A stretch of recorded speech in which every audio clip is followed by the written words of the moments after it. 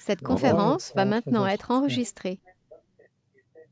Ah, je pense que je vais reprendre. Bonjour, je m'appelle Philippe Denis, je suis président AT2E Nouvelle-Aquitaine et j'ai le plaisir de vous accueillir pour ce webinaire sur les chaufferies CSR, opportunités environnementales et de production de chaleur bas carbone. Donc, euh, Sujet, sujet pas classique, mais qui visiblement a, attiré beaucoup de monde puisque vous êtes près de 300 à vous être inscrits. Euh, et donc probablement qu'on atteignera euh, classiquement un, chiffre qui, a, qui, avoisinera les 200 euh, participants. séminaire dense, je, je, vais faire court pour vous parler dans un premier temps de énergie environnement, en demandant à tous les participants de couper leur micro, s'il vous plaît, on entend quelques petits bruits. Euh, donc, présentation de la, T, la T2E euh, qui, qui, qui, signifie Association Technique Environnement. La T2E est une association qui rassemble, qui propose, qui informe et qui anime.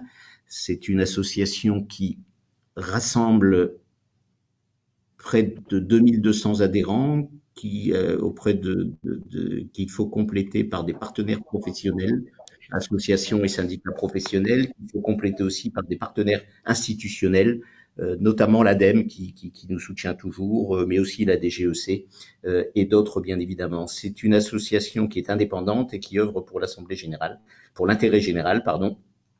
Et, et c'est une association qui, qui informe en, via une veille réglementaire, une veille technique et une veille économique. Euh, les processus d'animation de la T2E sont de deux, de, de deux natures. Euh, la T2E fonctionne euh, avec sept clubs euh, qui sont qui, qui, sont connus et, et, et, que je vais donc pas rappeler que vous voyez s'afficher sur sur l'écran, euh, qui servent principalement à, à, une information on va dire de dernière niveau et de première main. Et l'association fonctionne aussi via 12 régions euh, qui, qui. Excusez-moi, mais nous entendons un micro et des paroles qui ne sont pas coupées, si, si vous voulez bien. Pas envie de me charger un truc. Coupez votre micro, merci. Euh, et, et, et, donc, il fonctionne aussi via 12 euh, régions. Et, et, pour ce qui concerne la région Nouvelle-Aquitaine, que vous voyez euh, s'afficher sur le PowerPoint et la présentation, nous sommes organisés avec trois bureaux. Euh, un bureau, un bureau nord de la Nouvelle-Aquitaine, qui est une grande région, un bureau qu'on va qualifier de central, euh, et, un bureau qui est sud, qui regroupe les Landes, le, Pays Basque et, et, et le Béarn. Euh, et, nous avons donc trois, trois délégués. Euh, Thierry Baudouin pour, pour le nord,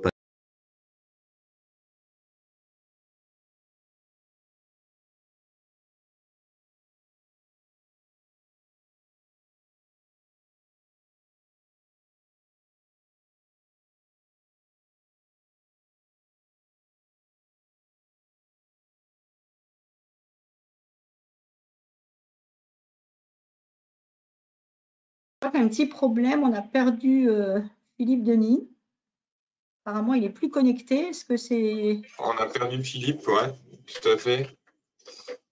Est-ce que, vous, euh, voyez, vous, voyez, bien les slides? Parce qu'apparemment, certes, beaucoup de personnes ne voient pas les slides. Est-ce que vous les voyez non, on ne voit, pas les slides. Non, on non, non, rien du tout. Rien, absolument rien. D'accord, ok, ben, on, va, on, va, on va remédier à ça. Euh, Chloé, je vais les passer, d'accord? Tu, tu, tu départages et je vais partager l'écran. Merci. Et Philippe Denis, alors j'espère qu'il va se reconnecter parce que là, pour l'instant, on l'a complètement perdu. voilà. Là, on voit, c'est bon. Alors, merci aux participants. Euh, bien couper leur micro et leur caméra pendant le webinaire. En effet, comme le disait Philippe, on, entendait euh, tout à l'heure euh, certains participants avec leur micro ouvert. Merci à tous.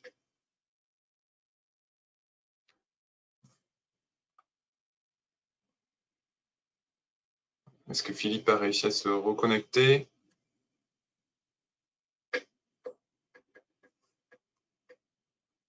Apparemment non. Hein.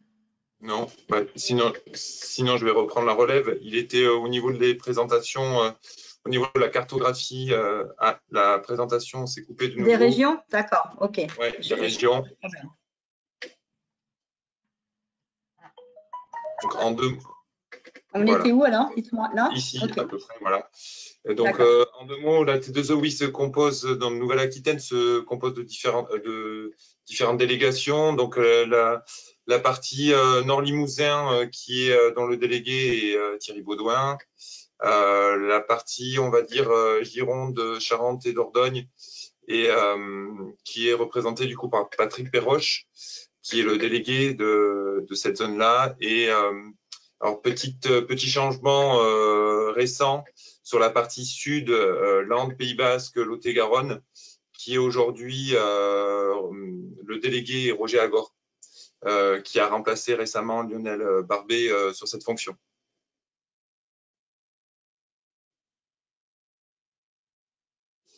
Donc au programme, donc tout d'abord, à mon tour, je me présente Christophe Jacques, donc je suis membre du bureau sur la partie d'Ordogne et euh, euh, avec euh, dans le DLD et, Patrick Perroche.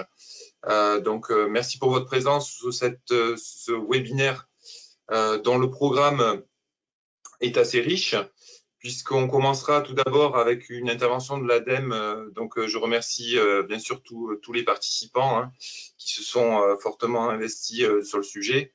Donc, on commencera par une présentation euh, de l'ADEME autour euh, du coup des différents dispositifs financiers euh, sur, sur les thématiques de, de chaufferie CSR. Monsieur Roch nous fera le plaisir de la société PAPREC d'intervenir du coup sur les grands principes autour ben, de ce, ce, combustible alternatif, on va dire, toute la sémantique autour autour de, des CSR et également ben, toutes les thématiques autour de, de ce marché. On, on, aura la chance également donc euh, d'avoir aujourd'hui euh, Benjamin Monet euh, de la société Utilities Performance qui nous exposera du coup tous les enjeux en termes de design et de conception des chaufferies CSR, donc toutes les ficelles, on va dire, nécessaires pour, pour construire un projet CSR et, et le réussir. Et puis, euh, nous clôturerons du coup cette séance avec euh, Monsieur Bigot euh, de la société Séché Environnement, qui nous fera part du coup de premiers retours d'expérience, puisque la société Séché Environnement, si je ne dis pas trop de bêtises, intervient, exploite l'une des premières installations ou la première installation de France qui utilise ce combustible alternatif, qui sont les CSR. Donc, je vais donner la main euh, à Monsieur Bejanin ou Monsieur Schumacher, puisque vous allez présenter en tandem, euh, si je me trompe, euh, votre présentation. Est-ce que vous nous entendez? Je vous entends très bien. Bonjour. Bonjour à tous. Emmanuel Béjanin, donc directeur régional délégué de, de l'ADEME Nouvelle-Aquitaine sur le, sur le site de Bordeaux. Euh, merci à toute l'équipe de, de, la T2E pour, pour l'organisation de, de, de, ce webinaire euh, sur un sujet qui, euh, qui monte en puissance depuis quelques années euh, à l'ADEME, mais pas seulement à l'ADEME si je me réfère au, au, nombre de participants de ce webinaire. Euh, très heureux de pouvoir intervenir sur, sur cette question qui n'a pas seulement pour but de vous présenter les moyens financiers que l'ADEME apporte, euh, L'ADEME apporte certes ses moyens euh, financiers, mais elle apporte aussi son expertise euh, et ses conseils et accompagne les porteurs de projets dans, la définition de leurs projets, justement, qui sont des projets difficiles euh, à, faire émerger, à faire émerger euh, parce qu'ils sont à la fois complexes techniquement, euh, qui nécessitent une entente importante entre des acteurs qui sont nombreux, et puis ce sont des, des, des projets, vous le savez, qui, qui sont très coûteux. Euh, alors l'ADEME est là pour euh, vous accompagner. Euh, si vous déposez un dossier, de, vous aurez plusieurs interlocuteurs sur, sur ces dossiers, des interlocuteurs nationaux, mais aussi des, des interlocuteurs locaux, parce qu'un projet CSR, c'est d'abord et avant tout un, projet de territoire, et c'est la raison pour laquelle je vais laisser la parole à, à Pascal Schumacher, qui est nouvellement arrivé à l'ADEME Nouvelle-Aquitaine et qui sera euh, votre interlocuteur régional sur le CSR, votre porte d'entrée euh, pour, euh, pour, pour l'ADEME. Alors, il a le courage de se lancer dans cette présentation malgré son arrivée toute récente, mais vous allez constater qu'il a déjà une bonne maîtrise du sujet. Pascal va vous présenter les lignes directrices de l'appel à projet, qui est un outil financier, certes, mais qui est, de mon point de vue, surtout un outil méthodologique, parce que le cahier des charges de cet appel à projet balaye l'ensemble des prérequis qui participent à la construction euh, d'un dossier euh, à la fois solide et, pérenne. Voilà, je te laisse la parole, euh, Pascal. Merci. Donc, on va, au niveau de la présentation, on va commencer par le contexte national très brièvement, aborder les questions de modèle économique, puis revenir sur le contexte régional et l'appel à projet proprement dit avant de conclure sur le retour d'expérience et les, points de vigilance. Euh, au niveau du contexte national, on, est parti du principe que qu'à peu près tout le monde savait ce que c'était des, CSR dans, les inscrits à, la, présentation. Euh, simplement pour dire que en France, c'est une filière qui est, qui est, qui est aujourd'hui marginale, hein, puisqu'on a une consommation de l'ordre de quelques centaines de milliers de tonnes par an seulement. Euh, qui est très très euh, en deçà de celle de l'Allemagne, où c'est plutôt de l'ordre de 7, 8, 9 millions de tonnes par an. Euh, dans la hiérarchie des modes de traitement, c'est quoi? C'est simplement dire en ce qu'on aujourd'hui on a quand même un, enfouissement qui reste important avec des déchets qui ont encore une valeur de combustible et en les transformant en combustible solide de récupération, on va pouvoir en faire une valorisation énergétique donc, à la différence des, usines d'incinération, c'est pas forcément sur le même site. Il peut y avoir de la préparation et donc ça passe par une étape d'intermédiation qui est celle de, de, la, de, la, mise en forme et de la, des combustibles proprement dits. Donc, en termes d'historique, euh, il y a eu pas mal d'études entre 2010 et 2015 pour faire émerger cette problématique. Et puis 2015 et jusqu'à maintenant, on est plutôt sur l'émergence d'un cadre réglementaire avec plusieurs arrêtés successifs qui vont dire ce qu'est un CSR, à quelles normes ils doivent répondre, euh, et qui permettent de faire émerger progressivement cette filière. Et en soutien du développement, des appels à projets successifs, notamment de, l'ADEME, pour faire émerger euh, des projets d'utilisation et euh, une filière qui se, qui se développe petit à petit.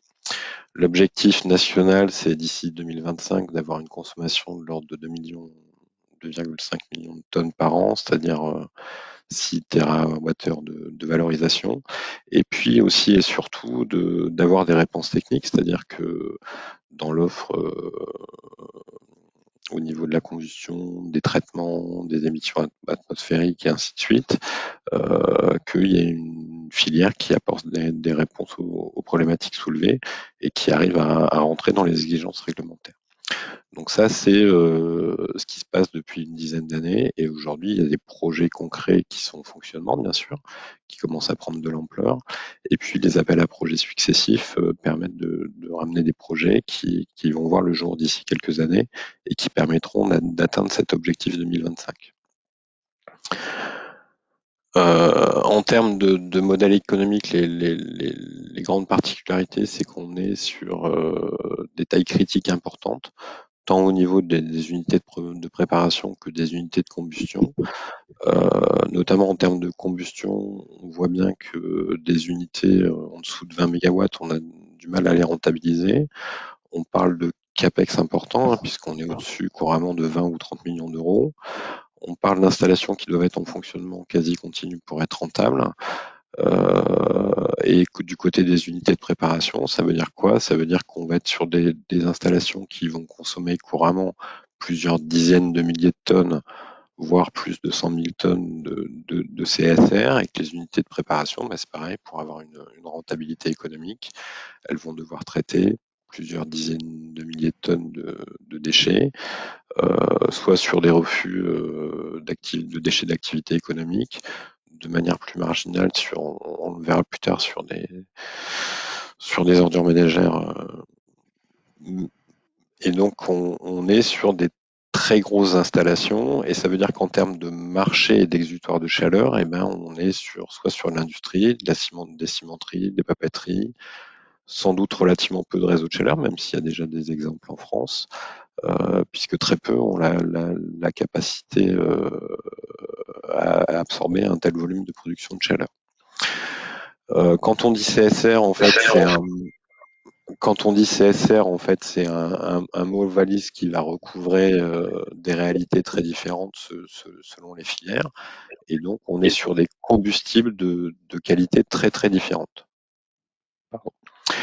Euh, particularité derrière, c'est quoi? C'est que, euh, évidemment, on va être sur des marchés très, spécifiques, très spécifiques, très réduits, très hétérogènes, avec une vraie question dans les modèles économiques qui est est-ce qu'on a plutôt une enfin, il faut trouver le point de jonction entre euh, la logique euh, prix des déchets, c'est-à-dire, euh, et puis la logique prix de l'énergie, qui est un combustible qui a une valeur, et côté prix des déchets, on va éviter l'enfouissement, et donc on va éviter de payer quelque chose, et donc on, va pouvoir payer celui qui va utiliser pour prendre les déchets. Et en fonction de la qualité des CSR et de leur utilisation, on va avoir un prix du combustible qui est soit négatif, dans la plupart des cas, soit plus, rarement positif euh, et qui a une vraie valeur en tant que combustible. Et donc tout ce marché-là est à construire et aujourd'hui il y a relativement peu de bases de référence. Et on est sur des projets ad hoc au cas par cas à chaque fois. En termes de, contexte régional, euh, c'est quelque chose qui est, prévu par le PRPGD. Alors j'ai remis les, chiffres à droite. Euh, clairement, on est, euh, comme au niveau national, en fait, sur une vision de stabilité de ce qui va être incinéré, sur une décroissance des résiduels à traiter et sur une décroissance de ce qui est stocké. Et effectivement, ça veut dire quoi? Ça veut dire qu'il va falloir faire une valorisation supplémentaire et que dans cette valorisation supplémentaire, il y a bien l'enjeu de la filière CSR et au niveau régional, donc il y avait un chiffre de, 400 000 tonnes en, 2031, y compris avec d'autres filières de recyclage. Le gisement, euh, pour la Nouvelle-Aquitaine, on a mis 600 000 tonnes par an. C'est vraiment du, du, gros doigt mouillé, c'est ce qui ressort d'anciennes études. Au niveau national, euh, clairement, le gisement, il y, a, un rapport 1 à 3 entre les estimations basses et hautes. C'est pareil au niveau de la Nouvelle-Aquitaine. C'est quelque chose qu'il faut qu'on expertise et qu'on construise progressivement tous ensemble. Ce qu'on sait, c'est qu'aujourd'hui, jusqu'en 2018, il y avait une consommation qui était très faible de l'ordre de 30 000 tonnes par an et inférieure aux capacités de production locale, avec seulement trois installations utilisatrices. Il y a une enquête qui est en cours euh, par l'AREC sur la, production euh, cette année là auprès de, l'ensemble des producteurs. Et puis euh, avec l'AREC et l'ADREAL et la région, on va sans doute mettre en place une cellule CSR analogue aux, cellules régionales biomasse pour essayer d'y voir clair là-dedans et d'aider les porteurs de projets. En termes d'utilisation et de, il y a plusieurs projets en cours, dont certains sont en gestation euh, qu'on n'évoquera pas. Aujourd'hui, euh, les lauréats de l'ADEME au, niveau de la, région Nouvelle-Aquitaine euh, sur les, projets CSR labellisés qui ont été financés. Il y a eu en 2018 le projet Papyrus de la papeterie Saint-Michel en Charente pour 15 MW de production, 95 GWh par an et 29 000 tonnes, qui, 29 000 tonnes par an d'entrants CSR. Euh, ça, c'est un projet qui est aujourd'hui euh, suspendu et en cours de reconfiguration. On verra ce qui devient. En 2019, il y a le projet de la papeterie Conda euh, qui a été lauréat. On parle de 32 MW, 238 GWh et 65 000 tonnes par an. Et en 2020, euh, le projet de la cimenterie Galcia-Bussac pour... Oui, je peux. Pardon. Euh, le projet de la, cimenterie Calcia-Bussac avec 105 000 tonnes par an, euh, aujourd'hui elle en consommait déjà 15.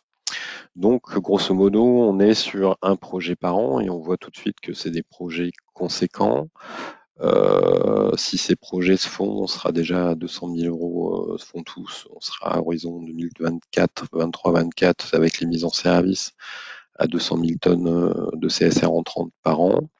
Ça veut dire quoi? Ça veut dire qu'il faut faire monter en puissance la production et c'est le gros travail des années en cours hein, dans le cadre de l'émergence de ces projets.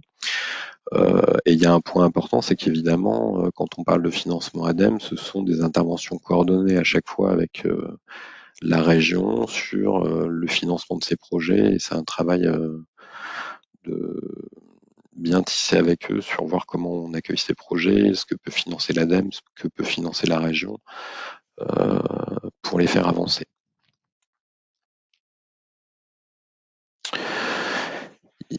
Au niveau des nouveaux projets, il y a un appel à projet national qui est en cours avec des réponses au 14 octobre de cette année, euh, qui ne concerne pas les dossiers de cimenterie sur les modifications d'unités existantes. Hein. Les cimenteries, c'est quand même 40% euh, de l'objectif national en 2025 euh, à elles seules. évidemment, on est sur des, projets en analyse économique, hein, puisqu'on est sur des aides de plusieurs millions d'euros. On a des aides jusqu'à 35 à 45% du surcoût d'investissement. Euh, bien évidemment, on regarde dans les, dossiers déposés euh, l'efficacité économique de l'aide par rapport à ce qu'elle apporte. Hein. donc, euh, le moins est demandé, le, mieux ça se passe. même si tout de suite, on va regarder aussi la logique du projet de territoire et que ça peut être un, argument pour faire émerger des projets de taille moyenne qui peuvent être un peu moins rentables. Il est évoqué au niveau national une possible aide au fonctionnement sur les OPEX, euh, notamment parce que les prix du gaz restent bas et que ça reste une solution de référence. Ça, c'est vraiment quelque chose qui n'est pas validé aujourd'hui et qui est sous réserve. Donc, c'est dans le cadre du dépôt des, dossiers qu'il faut faire des demandes ad hoc et on n'est pas sûr que ça sera suivi d'un mécanisme national. Euh, comme on le disait tout à l'heure, on est quand même plutôt sur des projets industriels que sur des, du réseau des réseaux de chaleur, hein, puisque sur les réseaux de chaleur, l'échelle est quand même difficile à atteindre en, Nouvelle-Aquitaine. Euh, et euh, il y a des opérations sur, de cogénération qui sont possibles si l'électricité produite est autoconsommée ou vendue sur le marché libre. Dans les exigences importantes de l'appel à projet et qui justifient pleinement le, le financement de l'ADEME, il y a euh, des valeurs d'émissions atmosphériques qui sont bien plus basses euh, que dans les arrêtés ICPE et donc il faudra être, y être attentif.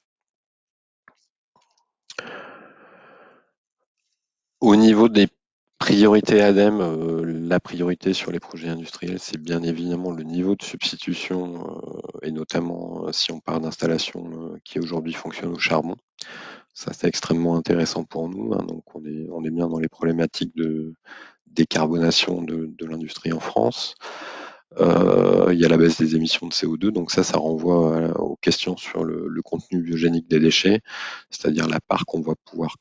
Donc les CSR, c'est une énergie de récupération. Euh, avec le contenu biogénique des déchets, d'une certaine manière, ça peut être considéré comme de l'énergie renouvelable. Et en tout cas, ça fait baisser euh, les émissions de gaz à effet de serre par, par mégawattheure produit. Euh, dans les points très importants d'attention au niveau régional, donc c'est toute la question du plan d'approvisionnement, euh, avec la mise en place d'une cellule CSR euh, pour y voir clair et aider les porteurs de projets. Premier critère, évidemment, c'est la compatibilité au PRPGD, donc au plan régional de gestion des déchets. On va s'attacher à ce que ce plan d'approvisionnement soit robuste, pérenne et sécurisé avec des lettres d'intention de, de producteurs. Euh, classiquement, donc on, prend les CSR issus de refus de tri, DAE, refus de collecte sélective euh, et ainsi de suite. Euh, il y a une limite. on prend également dans, les mix proposés des CSR issus d'ordures de ménagères dans une limite de 30% en termes de tonnage et sous réserve d'une association forte avec les collectivités locales qui les traitent. Ça veut dire quoi? Ça veut dire qu'on va demander quand même à ce que les collectivités locales qui soient associées, elles aient une politique très ambitieuse de réduction et de gestion des déchets, euh, qui soit bien en place et on n'est pas là pour euh, on veut pas que ces projets euh, condamnent des, des, politiques plus intéressantes en termes de priorité sur la réduction des déchets et sur leur recyclage. Euh, donc là, on sera très attentif là-dessus. Le deuxième critère, c'est qu'il n'y ait pas de remise en cause, bien évidemment, de l'approvisionnement des, unités des UVE existantes. voilà pour le financement de l'appel à projet. On pourra répondre aux questions tout à l'heure avec Emmanuel. Et je vais le laisser conclure sur les retours d'expérience et les points de vigilance. Merci Pascal. Euh, rapidement, pour ne pas dépasser le, le, timing qui nous était apparti, quelques, quelques points de vigilance euh, issus de nos retours d'expérience des, premiers euh, lauréats des, appels à projets. on est évidemment, vous l'avez compris, sur des dossiers qui ont une, une jauge financière très importante, ce qui nécessite à la fois une instruction nationale euh, et une instruction régionale. Instruction nationale pour tout ce qui est euh, vision et comparaison euh, des, dossiers. Vous l'avez compris, dans les critères de, sélection vont venir les, ratios d'efficacité de, l'euro investi. Euh, ce qui nécessite donc d'avoir cette vision nationale et la partie expertise financière euh, appartient également euh, aux instructeurs euh, nationaux qui vont pouvoir challenger à l'aide de bureaux d'études spécialisés sur le sujet l'ensemble des lignes qui composent le, business plan du, dossier. L'instructeur régional, en l'occurrence Pascal, aura pour objectif de bien regarder l'ensemble des, aspects territoriaux en lien notamment avec euh, tout le travail euh, mené sur euh, le, plan d'approvisionnement. et ce réalisé, vous l'avez entendu par la cellule CSR qui se montrera dans les prochains mois. Euh, la question du, juste prix de la, prise en compte du combustible, autrement dit du gate fee, est, est un point également très important et c'est un contexte local, euh, même si avec la trajectoire TGAP qui, qui, qui progresse, le, le, coût de l'enfouissement des déchets n'est pas le même euh, partout, euh, partout en France. Donc la question du, du, du, du prix d'entrée du, du, combustible sur le, le, lieu de combustion de, de, de l'unité est, est, quelque chose de très sensible et, et évidemment c'est également un, un, un, élément qui participe à, à la solidité du, business plan et c'est quelque chose sur lequel on fera une, analyse euh, assez poussée. Euh, concernant les, autres points de, vigilance, euh, rappeler euh, l'esprit de l'appel à projet. Le point de départ, c'est bien le besoin de chaleur. on identifie d'abord et avant tout où sont les besoins de chaleur et ensuite on construit le projet de CSR. Euh, on regarde euh, cet aspect-là euh, parce qu'aujourd'hui, on, on, a quand même quelques dossiers qui nous arrivent qui sont plus des, des dossiers qui cherchent des exutoires à leurs déchets. L'appel à projet a bien cette vocation d'avoir pour point de départ l'identification de besoins de chaleur qui peuvent être réalisés à partir de déchets et non l'inverse.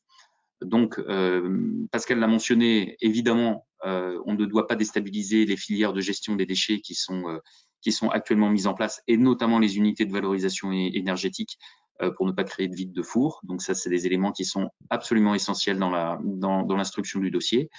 Euh, également valider le 100% sortie d'enfouissement, donc qui va de pair avec la, filière de gestion des déchets existants. Et puis, euh, un élément qui sera regardé de près euh, dans l'analyse du plan d'approvisionnement, c'est la boucle de proximité, non seulement entre le lieu de production de CSR et le lieu de combustion de CSR, mais également, euh, on va, on va s'attacher à regarder d'où vient le déchet. il faut que la boucle de proximité, elle soit complète entre le lieu de production de déchets euh, et le lieu de combustion du CSR, en passant évidemment par le lieu de production euh, de CSR. Donc, euh, on est très attentif évidemment à ne pas mettre euh, à, à, à, créer une, une, une, boucle vertueuse en termes de, de gestion géographique de ces, de ces déchets.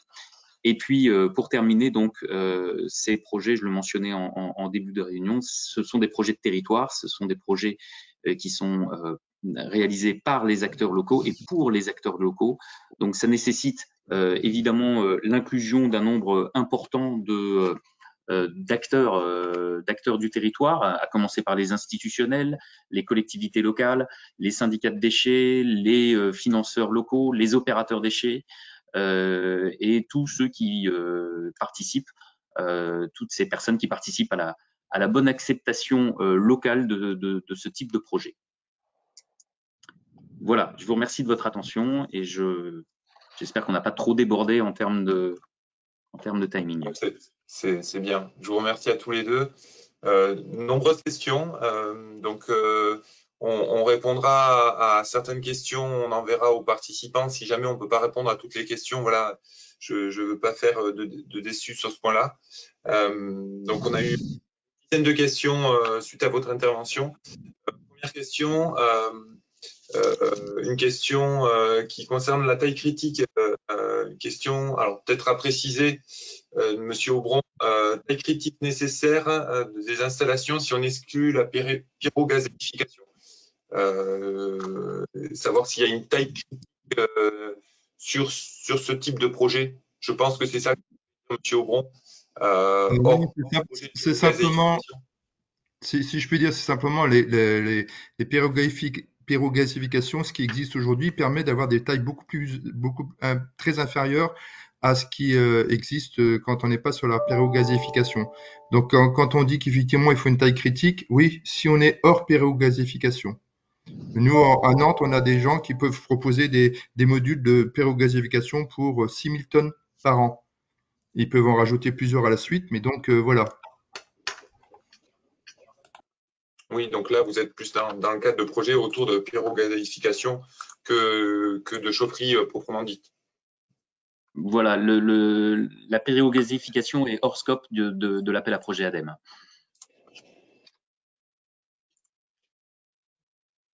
Ok, euh, autre question. Euh, autre question autour euh, également du CSR. Pourquoi le CSR ne pourrait pas, mais alors je pense qu'il y a peut-être une petite confusion. Pourquoi le CSR ne pourrait pas avoir une valeur supérieure, enfin une valeur positive, comme tous les autres combustibles? Parce qu'en effet, à un moment vous avez parlé de valeur négative. Alors là-dessus, il peut avoir une valeur positive. Hein. J'ai dit que simplement dans la plupart des cas, aujourd'hui, il avait une valeur négative. Et dans les études sur les modèles économiques, c'est ce type de paramètre qui a été pris en compte. Pour autant, il y a des cas de figure où évidemment, il a une valeur positive. On est vraiment sur du cas par cas, c'est-à-dire ça dépend du, du pouvoir calorifique du CSR en question, de sa qualité, de est-ce qu'il va générer beaucoup d'émissions atmosphériques ou pas, de son contexte de prise, du prix aussi euh, local de enfin, ou régional de l'enfouissement par ailleurs? On, a un spectre de valeurs qui, alors, qui va de quelques dizaines d'euros par tonne en négatif jusqu'à 5, 10, 20 euros par tonne en positif. Euh, le constat aujourd'hui, c'est celui-là il est vraiment très très hétérogène, mais il peut avoir une valeur positive, bien sûr. Merci Pascal pour votre réponse. Euh, encore une ou deux questions maxi, parce que du coup, on va déborder euh, sur le temps imparti. Encore une fois, on, reviendra sur les questions de, tout le monde. Euh, question intéressante.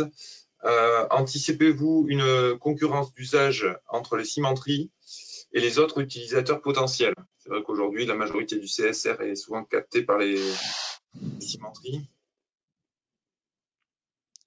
Est-ce que c'est des points qui sont considérés? Le, gisement initial euh, est, le même. Hein. Euh, on, est tout à fait d'accord que euh, le, CSR qui va dans les, cimenteries est un CSR alors pour, partie de, très haute qualité, euh, mais euh, les centres de préparation CSR ont vocation à alimenter les euh, cimenteries comme les, les unités de, de, combustion entre guillemets plus classiques. donc nous on regardera, on sera vigilant à bien évidemment regarder le, le, le gisement et à, à à, à, ne pas créer de, de, de, de trop fortes distorsions dans les, dans, dans, les unités et à, à éviter une, une, trop forte tension euh, sur, euh, sur, le, marché des, CSR. Mais euh, on est effectivement sur le même gisement. OK. dernière question, je clôturerai sur ce point-là, euh, sur les questions. Euh, les émissions de CO2 fossiles euh, de CSR sont comptabilisées dans le système ETS avec un coût de CO2 de la tonne de CO2 tendant vers 80 à 100 euros. Il n'y aura n'y aura-t-il pas peu de projets CSR possibles? Car l'enfouissement sera bien moins cher sauf s'il y a un cadre dérogatoire pour ces émissions.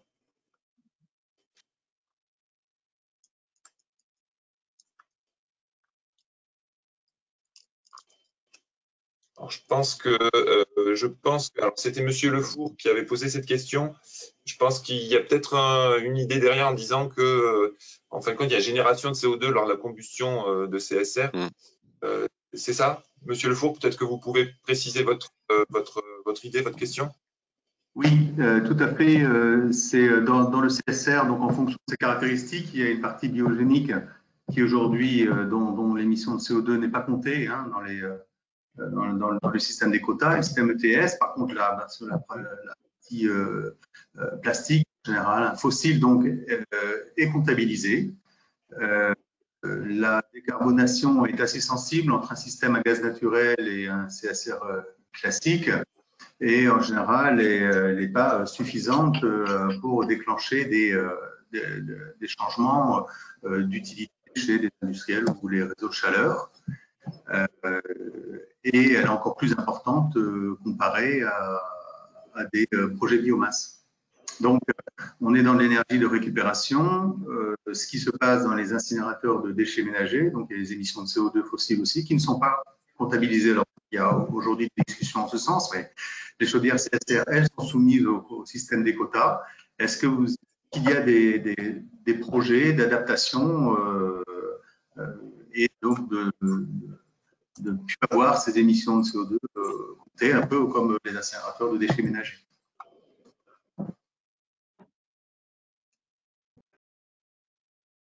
Euh, je vais être honnête avec vous, je ne sais pas répondre à cette question. Oui, moi non plus. je préférerais la, poser euh, à nos experts nationaux.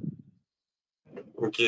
On, vous fera un retour, Monsieur Lecourt, comme, comme on n'aura pas eu le temps de, de poser. euh, je clôture vraiment sur ça, euh, qui a été aussi par, euh, par, par un participant. Est-ce que est-ce qu'il y aura un, appel à projet spécifique CSR pour 2022 Est-ce que vous avez une information à ce sujet-là? Normalement, tout porte à croire qu'il y aura un appel à projet CSR 2022. Euh, maintenant, ça dépendra du nombre de lauréats, euh, du nombre de candidatures et de lauréats à la session d'octobre. Vous savez qu'il y a un appel, l'appel à projet 2021. Il y a une, une, une, session qui est en cours euh, et qui se clôturera euh, en octobre. Euh, c'est à la lecture du nombre de dossiers déposés euh, au, mois d'octobre et de l'éventuelle lauréatisation de candidats qui sera possible de savoir si euh, l'appel à projet 2022 sortira en, temps et honneur. Mais normalement, c'est prévu. Ok. Bah, écoutez, merci bien. On va tout de suite passer à la prochaine présentation qui va être effectuée par Jean-Paul Roch de la société Paprec autour du coup euh, de la définition du CSR, de, des grands principes autour du CSR. Donc, je donne la main tout de suite à Jean-Paul. Est-ce que vous êtes là, Jean-Paul? Je suis bien présent. Super. Est-ce que le partage a marché?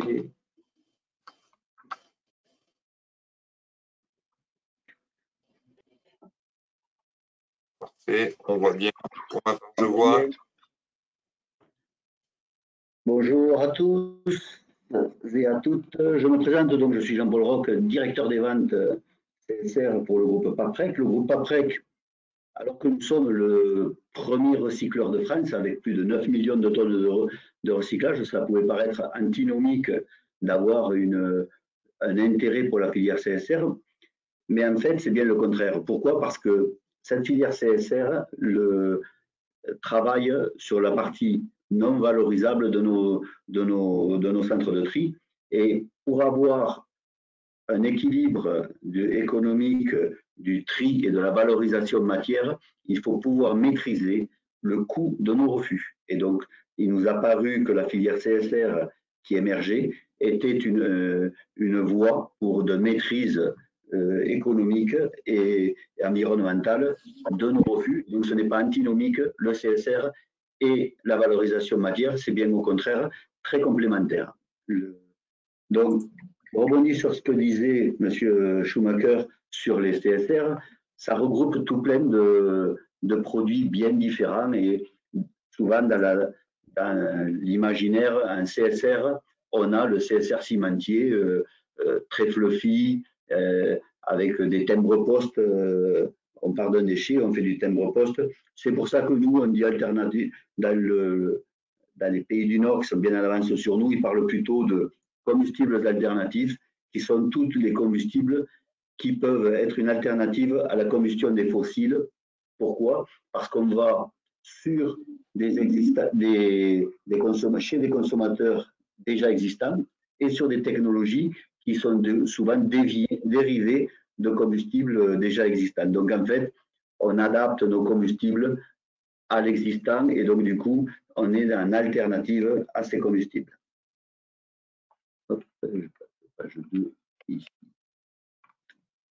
Donc, euh, les grands principes, le, Monsieur Béjanin disait le point de départ, et oui, le point de départ, hop là, c'est pas du tout ça. Pourquoi il n'y est plus? Ici, point de départ, affichage. Le point de départ, c'est bien la, production d'énergie. Et donc, c'est pour ça que le, webinaire s'appelle bien euh, production de, chaleur et non pas euh, je vais essayer de trouver à tout prix une alternative à, à, la, à la mise en décharge. Et donc, en fait, le flux de conceptualisation d'un projet, c'est j'ai un, consommateur d'énergie avec différents vecteurs énergétiques, de l'air chaud, de la vapeur, euh, des gaz de synthèse. On va les transformer par des technologies de combustion, de conversion, plus ou moins techno, euh, techno, et ces technologies vont appeler des combustibles. Sur, la sur les deux premières pyramides, je laisserai Benjamin Monet de Up le, expliciter tout ceci par la suite. Et moi, je vais m'occuper sur l'adéquation des, des, combustibles au reste de la filière. Juste un détail, c'est que dans la conceptualisation, on cherche, pour trouver l'équilibre économique et l'équilibre des flux, on cherche surtout des consommateurs à feu continu, c'est-à-dire que le, vu que les déchets arrivent dans les centres de production de CSR tous les jours, tous les jours, tous les jours, il est important de trouver des consommateurs de CSR qui consomment tous les jours, tous les jours. Et donc l'adéquation entre les flux est importante aussi. Nous avons essayé de, conceptualiser en un seul graphique tout ce qu'on essaye de, tout ce qu'on modestement, on a appris pendant des années de production de CSR sur le CSR. Donc en fait, avec trois pyramides, le, les combustibles, le, process, les déchets. Tout comme dans la partie énergétique, le, Benjamin nous expliquera que on part du vecteur énergétique et on remonte au CSR. Dans la partie CSR, on fait le même chemin, c'est-à-dire qu'on va partir de l'attente des prescriptions combustibles que nous a imposé la chaudière, le consommateur, on va mettre en place un process et après on va aller chercher le mettre en adéquation les déchets les, les plus les plus adéquats. Le, dans ces pyramides, le, on essaye de traduire trois, plusieurs choses en, en un seul dessin, c'est-à-dire de mettre sous la forme d'une pyramide le volume, de, le volume disponible, la technicité du produit et ou du, du, process, et donc les redevances le, et les coûts. Donc, par exemple, quand on est sur la, sur la pyramide combustible, le, quand on est en bas de la pyramide, ça veut dire qu'il y a, on, pourra livrer beaucoup de combustible, le, et donc beaucoup de combustible. Ce combustible en masse pourra payer beaucoup plus cher parce qu'il sera aussi beaucoup moins technologique, technique. Alors que quand on est en haut de la pyramide combustible, le, par exemple, j'entendais le monsieur qui parlait de pyrogazéification. Pour rentrer dans une pyrogazéification, il faudra faire des combustibles très techniques, très techno, et donc du coup, on arrivera à en produire que très peu, et avec donc, un process qui, lui, si vous regardez la pyramide inversée, est beaucoup plus compliqué. Et donc, ce qui fait que ce combustible aura un pouvoir d'achat où on pourra payer moins de redevances le, chez, le, chez le consommateur. Et à l'inverse, sur les déchets, mais plus on va faire des combustibles, pour faire des combustibles faiblement techniques, on a, une, on a à disposition un grand volume de déchets. Le grand volume de déchets, le, ça veut dire que comme il y a du volume, il y a de la capacité à payer, alors que si on veut faire des, des, déchets, des CSR très techno, il faudra aller chercher des produits, des déchets très spécifiques, en faible quantité, et donc il y aura plus de compétition et donc moins de, capacité à, payer de la redevance à l'entrée de nos centres de production. Et donc on applique ce, ces grands principes sur, par exemple, la partie CSR cimentier. Et donc quand on fait du CSR cimentier, on s'applique, on voit que on va avoir le, en gros plusieurs catégories le, de CSR produits, le, des CSR monomatériaux pour faire des, applications très spécifiques. Le, alors ça, en France, on en consomme peu, mais nos pays, les pays voisins en appellent beaucoup. Des CSR tuyères, des CSR préca qui est un peu moins technique, le, et du refus. Pour ce faire, il faut empiler toute la strate des, moyens matériels et techniques à notre disposition pour effectuer la préparation du combustible avec, euh, c'est toujours les mêmes choses, le prébroyage, les séparations pour faire du tri, les tris pour sortir les, les indésirables, la granulation et rajouter encore des tri optiques plus remontés sur, sur la, la technicité du produit.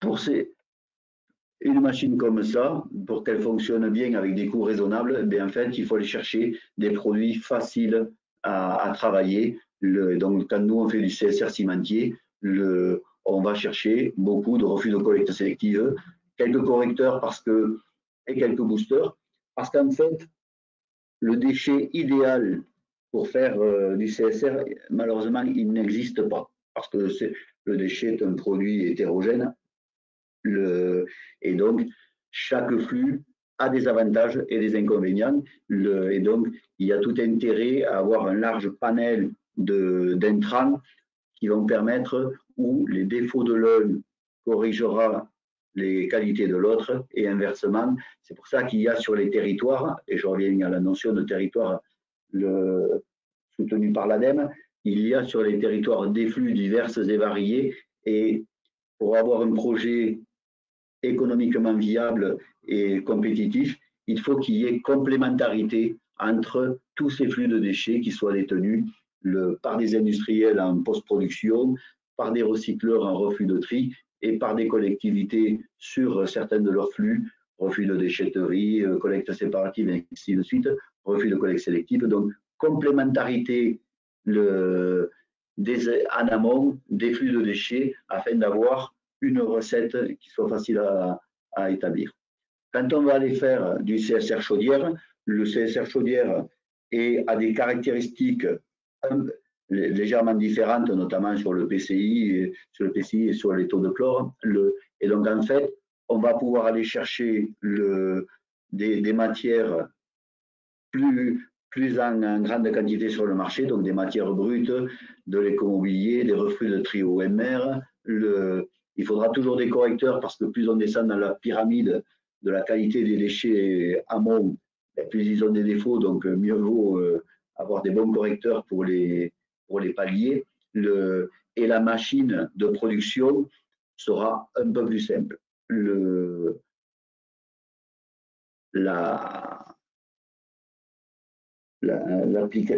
On a appris, parce qu'on apprend tous les jours, qu'en fait, on avait cette fausse idée, et je l'avais, que le CSR euh, chaudière, ben parce qu'il avait des caractéristiques euh, moins, euh, moins contraignantes, pouvait être beaucoup plus facile à, à produire.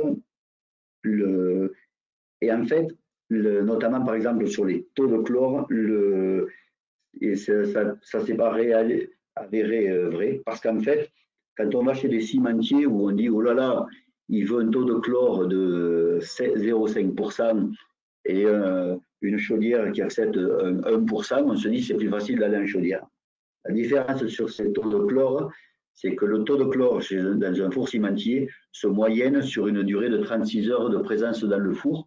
C'est-à-dire que si je mets un camion à 1% de chlore au jour, ce matin et un camion à 0% de chlore cet après-midi, ça ne dégrade pas la qualité du ciment parce qu'en moyenne, sur les 36 heures, ça aura fait 0,5. Le Benjamin nous l'expliquera tout à l'heure. Le, en chaudière, c'est légèrement différent. C'est que si je mets un camion à 2% de chlore ce matin, les 2% de chlore vont aller euh, endommager la partie chaudière, la partie chaudière et la corroder. Le, mais le camion de cet après-midi à 0% de chlore, il va pas aller reboucher les trous dans, les tuyaux. Et donc, autant le CSR, cimentier, c'est une moyenne à 0,5, autant le, chlore en chaudière, c'est des chlores en pointe, et donc ça veut dire qu'on ne peut, ne pas se passer d'avoir un tri optique pour maîtriser en permanence les, taux de chlore. Et le schéma idéal, mais qu'il est difficile d'avoir selon les territoires, c'est la raffinerie, le multicombustible, c'est-à-dire que sur toute la gamme des déchets présentes sur, le, sur notre territoire, on va aller pouvoir faire toute la gamme de, de, de CSR possibles et imaginables à produire avec des CSR pour les cimentiers, des CSR euh, pour les lyophilisés, pour les grilles, du refus pour les ISDND et ou les incinérateurs. Il y avait une, une bonne question là sur la sur la, la, concurrence entre les, entre les flux CSR, entre les cimentiers, les chaudières, les UIOM. On s'aperçoit que le, avec cette pyramide, cette présentation en pyramide, qu'il n'y a pas vraiment concurrence, mais plutôt complémentarité parce que un CSR à 20 mégajoules cimentier, eh bien, il, il, aura du mal, il ne saura pas aller en, en incinérateur. Et en chaudière CSR, il, dégradera le, business plan de la chaudière et donc le chaudiériste aura peu intérêt à, à vous le consommer. Donc, complémentarité.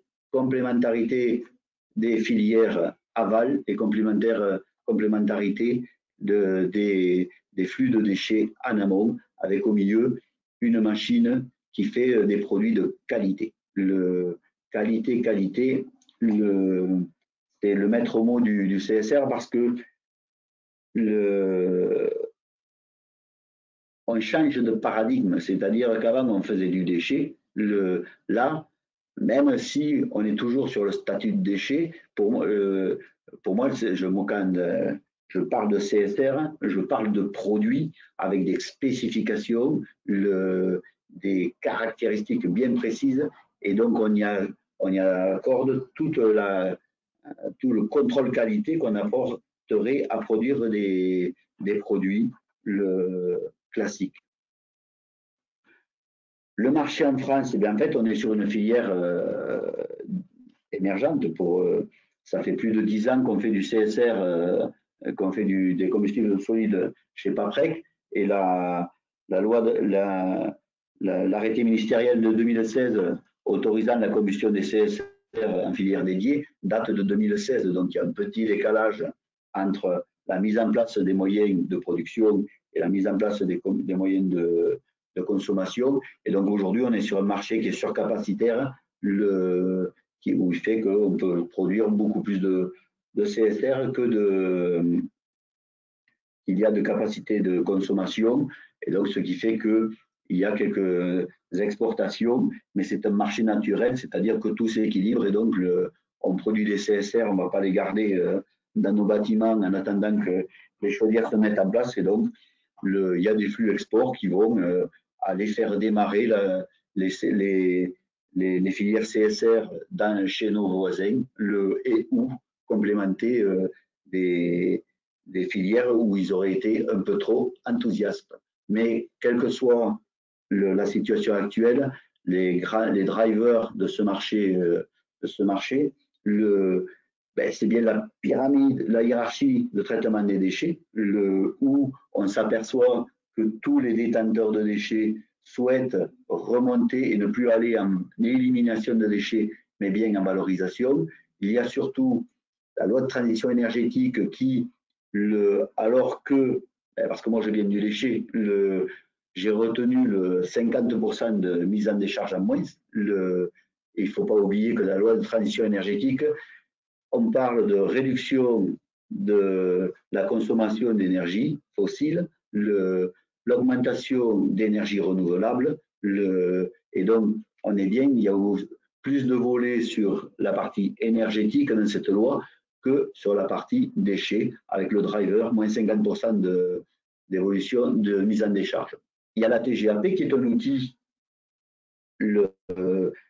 important de la filière qui et de la filière déchets en général parce que grâce à cette augmentation de la TGAP, on a le marché, le prix du déchet évoluant, on a plus, de moyens pour mettre en place des moyens de tri et de valorisation matière. Donc merci la TGAP. Et en même temps, on a plus d'argent, plus de moyens et de redevances pour mettre en place des machines de production de CSR. Et donc, dès lors, il est tout à fait normal que dans notre redevance CSR, on, fa, on indexe notre redevance payée à la chaudière sur cette évolution de la TGAP. Et un autre driver qui, pour l'instant n'a pas encore l'effet, le, on ne ressent pas les effets en France, du moins le, sur ce, sur ce sujet-là, mais je voyais dans le, dans le chat tout plein de questions sur le CO2. L'évolution constante et en voie d'accélération du prix de la tonne de CO2 le, sera un driver du marché du CSR. Le, si tant est que, par exemple, nous avons fait des analyses carbone 14 sur certains de nos, de nos combustibles le, et juste en travaillant un, poil la, un peu la recette, on a eu des résultats qui, qui dépassent la, la, barre des 70% de part biogénique et nous travaillons sur euh, un autre process où on espère pouvoir aller jusqu'à du 90% de part biogénique dans un, dans un CSR ou à destination de cimentier qui, lui, le, chaque fois qu'il gagne un point de part biogénique, économise euh, un euro de, de, de, CO2 à la tonne de CSR en 30 sur une base de, de CO2 à 45 euros. Donc, euh, il a tout intérêt à maximiser sa part de, biogène. Le, un marché émergent, un marché surcapacitaire, le, et mais un marché émergent chez nous. Donc, le, regardons, nous regardons ce qui s'est passé et ce qui se passe euh, chez nos voisins. Et en fait, le, que ce soit en Allemagne après le landfill ban ou en Angleterre après l'augmentation euh, drastique et sévère de, la taxe sur l'enfouissement, la réaction a été la même, attentisme, c'est-à-dire oh, ça arrivera jamais, et après surréaction. Et donc, en fait, on s'aperçoit que mais, nos amis allemands, dont on, on vante les vertus euh, d'anticipation, mais alors qu'il était connu depuis euh, cinq ans qu'ils devaient fermer les décharges en 2005, ils n'ont rien fait. Et donc, du coup, ils sont trouvés fort dépourvus quand en 2005, les, volumes d'emplissement se sont euh, évanouis. Et donc, du coup, le coût de traitement en incinération a doublé, passant de 80 à 180, de 90 à 180 euh, euros la tonne. Et ce, rebond du prix fait que des business plans qui n'étaient pas viables le, en 2004 avec un prix du marché à, le, à 90 euros, en début 2005 début, avec un marché à 180 devenaient formidables. Le, dans la nature, tout s'équilibre. Et donc, rapidement, le, ils ont créé, ça fait émerger la filière CSR en Allemagne. Le, et donc, si, bien, si de telle façon qu'en fait, ils ont fait trop de capacité de, de, combustion et qui fait qu'aujourd'hui, ils sont surcapacitaires en combustion et donc ils importent des, produits et ce qui fait que ça a ramené à la raison le prix du traitement des déchets qui est revenu à des prix qu'on connaît par chez nous aussi. Donc, on aurait pu penser que les Anglais, bénéficiant de l'expérience allemande, n'auraient pas fait la même erreur. Ils ont fait la même chose, c'est-à-dire surcapacité.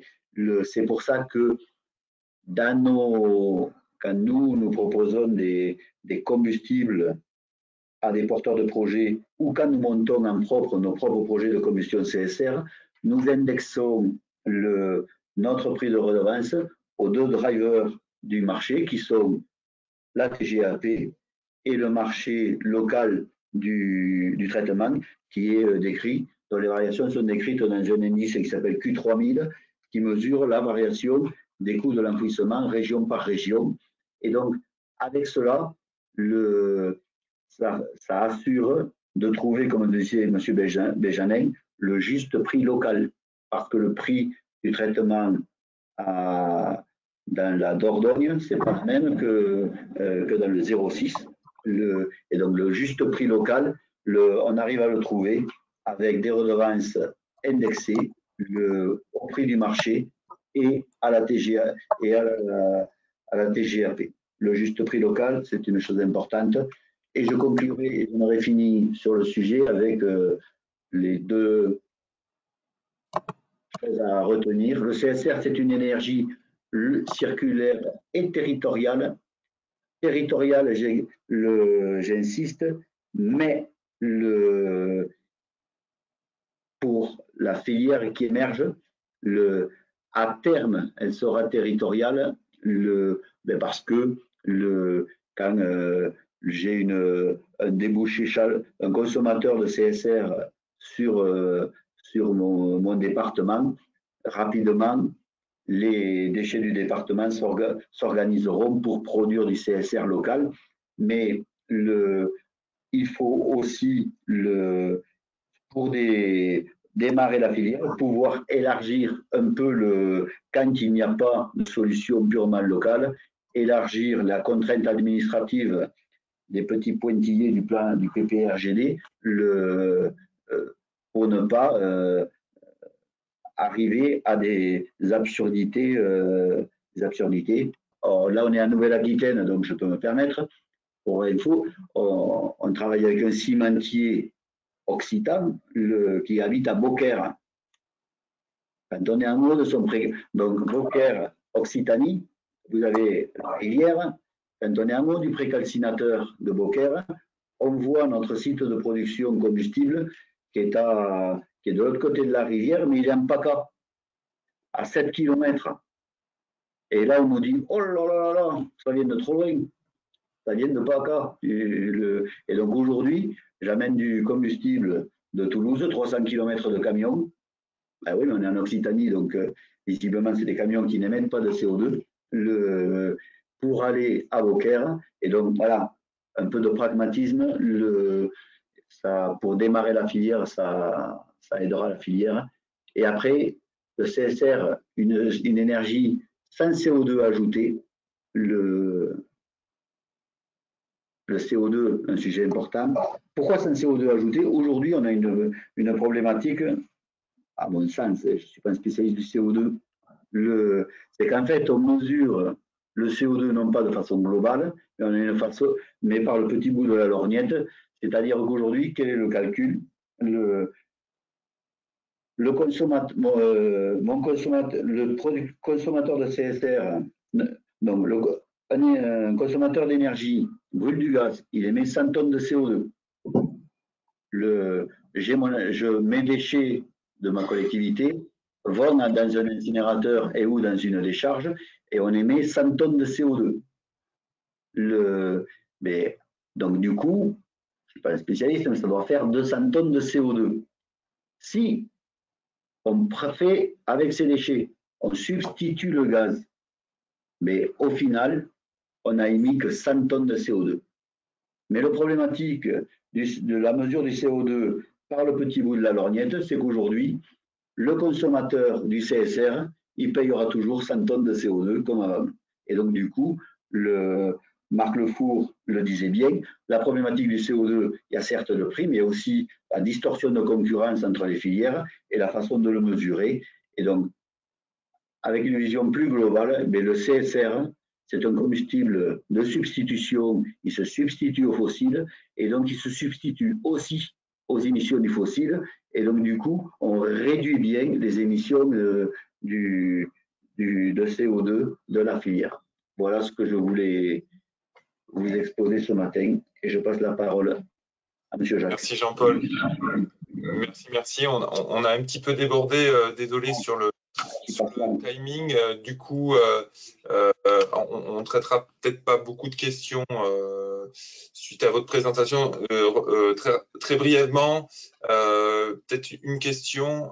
Aujourd'hui, je ne sais pas si vous, pouvez vous permettre de répondre au cours de cette présentation. Quel est le tarif moyen à peu près d'une chaufferie sur une chaufferie du coup pour, pour, pour, productrice de chaleur, tarif moyen de, la tonne de CSR et, est-ce qu'il est possible pour des euh, pour des industriels ou pour des collectivités de, contractualiser le prix en vue de, pérenniser du coup la rentabilité euh, rentabilité d'un projet. Le prix, le... Je ne vais pas vous donner de prix parce que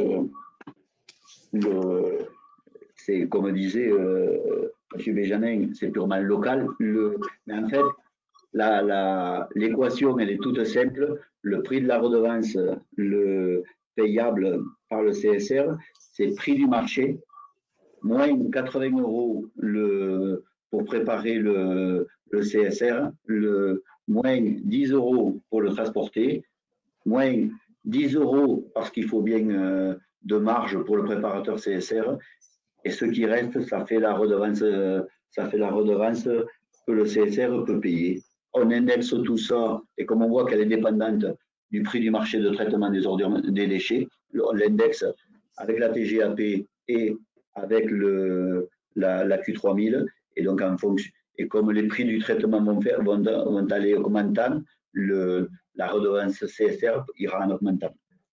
Aujourd'hui, dans les modèles économiques euh, bâtis par le comité stratégique des filières pour l'ADEME et avec l'ADEME, on, voit que sur un CSR DIB, c'est-à-dire un CSR de belle qualité, facile à produire, on, peut, payer facilement entre 30 et, entre 20 et 40 euros, 40 étant vraiment la, la frange supérieure de ce qui peut se payer.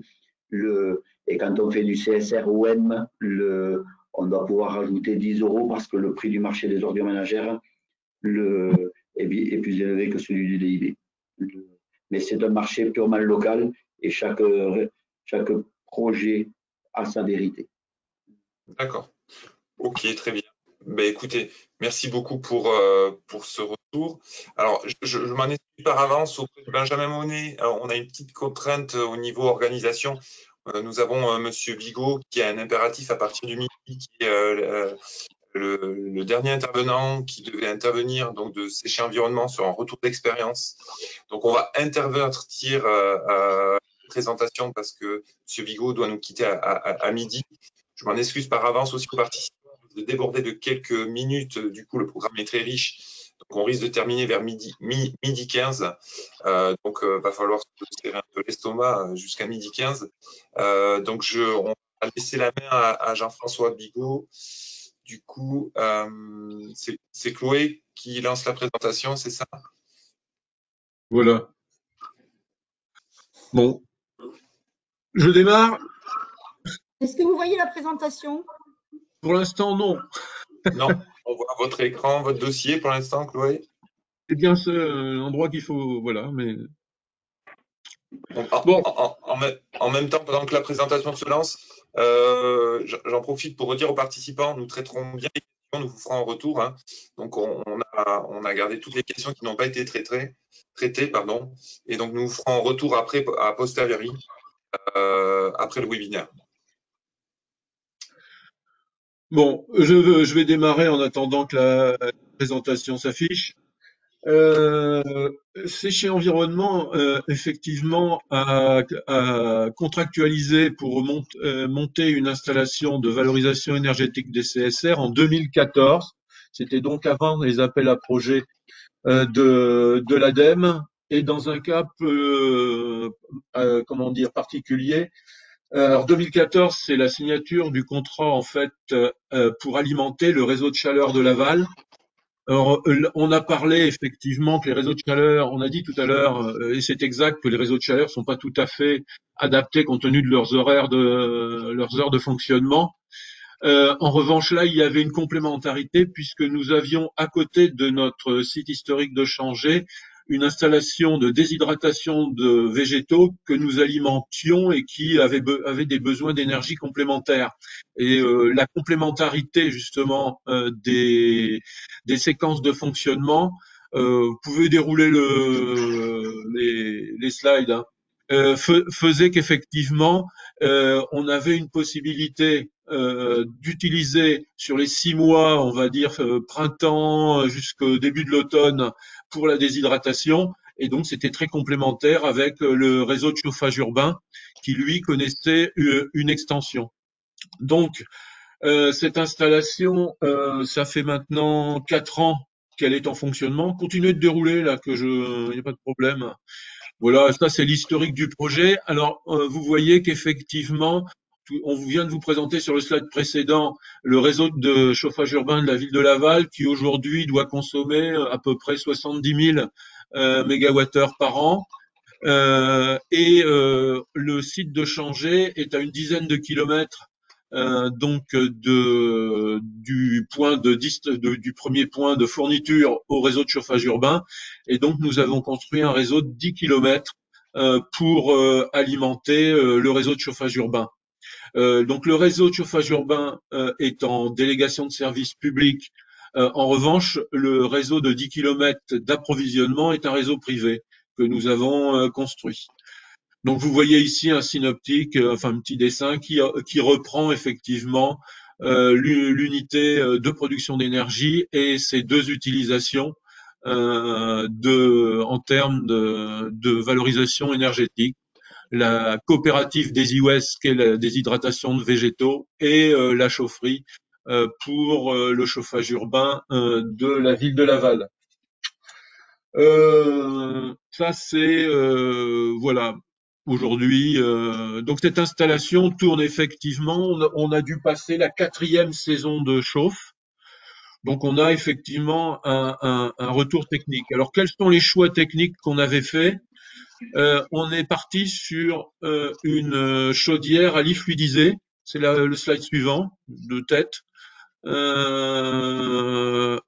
et parce que on, on, cherchait une complémentarité, on a une cogénération de biogaz. On voulait avoir, euh, comme c'était demandé, comme ça l'est toujours, la possibilité de faire fonctionner euh, cette installation 100% en CSR ou 100% en bois, c'est-à-dire avec une palette euh, aussi d'acceptation, des, notamment des CSR assez large. on le verra tout à l'heure sur le diagramme de l'unité thermique. Euh, et puis euh, on avait, euh, en réalité tout à l'heure, et Jean-Paul Roch le, le, signalait, le CSR, c'est un spectre extrêmement large qui correspond à un territoire et à un moment donné. Donc euh, c'est le CSR. Aujourd'hui, on sait en parler, on dit sur un territoire, il est tel type mais quel sera le CSR, quelle sera sa qualité euh, dans 5 ans, dans 10 ans ou dans 15 ans, puisqu'on est quand même sur des installations qui s'amortissent, euh, enfin c'est le terme qui se finance, on va dire, sur 15 à 20 ans. Donc euh, là, notre choix, c'est effectivement d'aller vers euh, la possibilité d'avoir la gamme la plus large possible de, de combustible. Puis on avait un petit détail, c'est qu'on avait un traitement de fumée existant parce qu'on avait une autorisation et on avait un petit four à bois. Donc on a pu, euh, on s'est débrouillé pour pouvoir le, le réutiliser euh, dans la mesure où, comme je vous l'ai dit, on était hors financement, hors appel à projet de l'ADEME et donc les financements n'ont pas été ceux qu'ils sont aujourd'hui. voilà. Euh, donc derrière euh, le choix technique, le lit fluidisé circulant, c'est le Rouelots. Hein. Euh, donc avec la possibilité, ça qui est important, vous voyez, d'accueillir du PCI entre 13 et 23 mégajoules par kilo. ça, c'était extrêmement important pour nous pour justement préserver l'avenir. Euh, ensuite, production de vapeur, bah, vous avez les, les éléments. À l'époque, sur l'inox, on était effectivement, on est en 2014 quand tout ça s'enclenche. Donc euh, aujourd'hui, effectivement, on va vers euh, davantage de, de protection euh, et de performance sur ces sujets d'émission.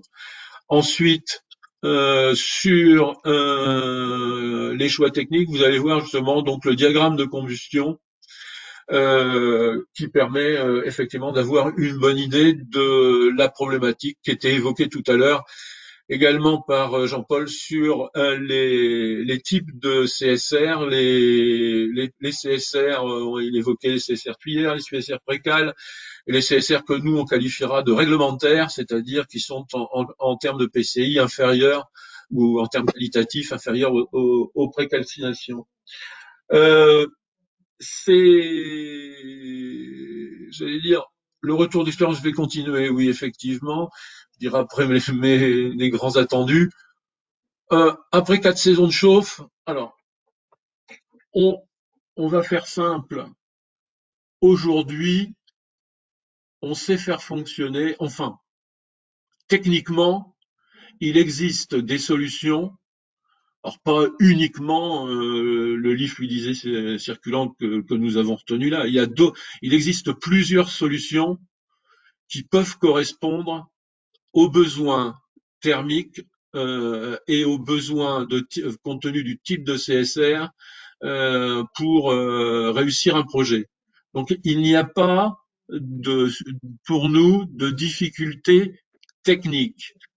Euh, il y a en revanche, il y a des difficultés techniques euh, qu'on a eues euh, par rapport à des sujets d'alimentation, à la gestion, euh, à la complémentarité des fournitures entre le réseau de chaleur et des e-West, à, gérer les, degrés jours sur le réseau de chaleur, la, la souplesse. L'intérêt du lit fluidisé circulant, c'est qu'effectivement, il présente en dehors de la plage importante en termes de PCI, d'avoir aussi une euh, souplesse de fonctionnement en termes de euh, capacité de fourniture de, vapeur à un moment donné. On peut descendre en gros jusqu'à 60% euh, de, de puissance disponible en termes de fonctionnement, ce qui est intéressant en termes de pour, pour fournir un réseau de, de chaleur. C'est un peu différent pour ce qui concerne une installation industrielle où effectivement, euh, si la monotone euh, est, est correcte, euh, on peut fonctionner, on peut dimensionner déjà l'installation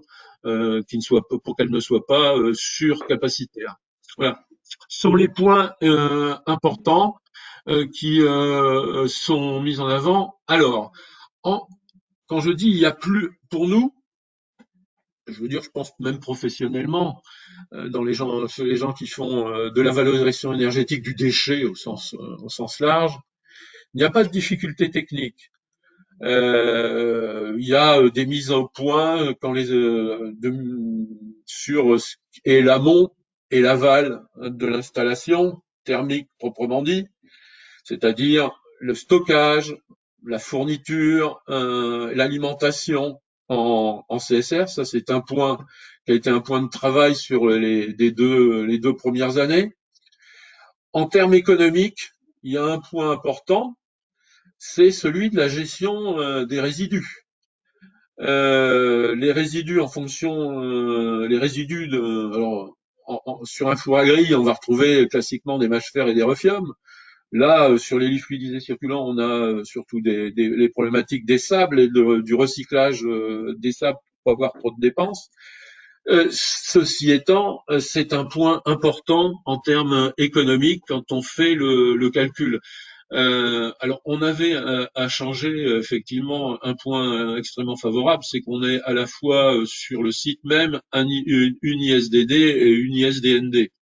Donc, ça simplifiait beaucoup l'analyse technique économique. Voilà les, les, points, les points importants qu'on a qu'on a rencontrés. Aujourd'hui, euh, je vais dire, c'est une installation qui, qui fonctionne euh, de manière tout à fait satisfaisante. Euh, alors pourquoi J'ai parlé d'une décision en 2014. On est en 2021. Euh, il y a eu entre deux quelques appels à projets de l'ADEME. Je ne reparlerai pas du tout dernier. Mais pourquoi n'y a-t-il que deux installations en fonctionnement en France parlant chaudière dédiée, dédiée CSR Eh bien, euh, c'est tout simplement qu'il y a un vrai sujet économique euh, que aujourd'hui euh, faire une installation euh, de valorisation énergétique des CSR, il faut être très clair, sans l'aide aux fonctions, sans l'aide à l'investissement de l'ADEME, le modèle économique n'existe pas. Euh, compte tenu de tous les chiffres que vous avez eus euh, précédemment. Euh, à partir du moment où il y a une aide significative on évoquait 35%, 40%, à l'investissement de l'ADEME. Oui, effectivement, euh, le, sujet existe, euh, peut exister, le modèle économique peut exister. Reste euh, en général qu'on a en face de soi un industriel utilisateur. Cet industriel utilisateur va poser quelques conditions euh, dans la mesure où, euh, j'allais dire, c'est le bilan apparaît euh, comme potentiellement favorable. C'est il faut l'engager sur ce que j'évoquais 15 à 20 ans. Et j'allais dire, il faut lui garantir une compétitivité du prix du mégawattheure fourni par le CSR qui puisse, parce qu'il faut, dans ces cas-là, il y a toujours une chaudière de secours qui est au gaz naturel, enfin très fréquemment, dans l'immense majorité des cas, et dans les, tous les projets qu'on regarde, c'est une chaudière de secours au gaz naturel. Euh, les derniers mois, les dernières années, euh, ont montré que le prix de la molécule, même euh, avec ses taxes associées, pouvait conduire à un prix du mégawattheure gaz naturel inférieur par moment au prix du mégawattheure CSR.